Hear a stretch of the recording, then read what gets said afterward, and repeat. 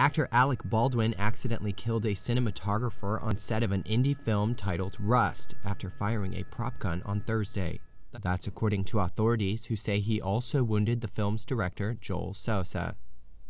Police in New Mexico confirmed in a statement, quote, Two individuals were shot on the set of Rust Halyna Hutchins, 42, director of photography, and Joel Souza, 48, director.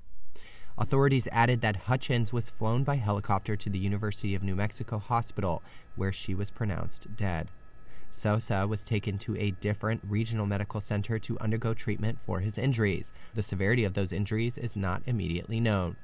Variety reported the fatal incident happened at the Bonanza Creek Ranch in New Mexico, a popular production location south of Santa Fe. Security at the film set confirmed it is on lockdown. No charges have been filed related to the incident, but police said they are investigating the shooting. Baldwin's representatives did not immediately respond to a request for comment.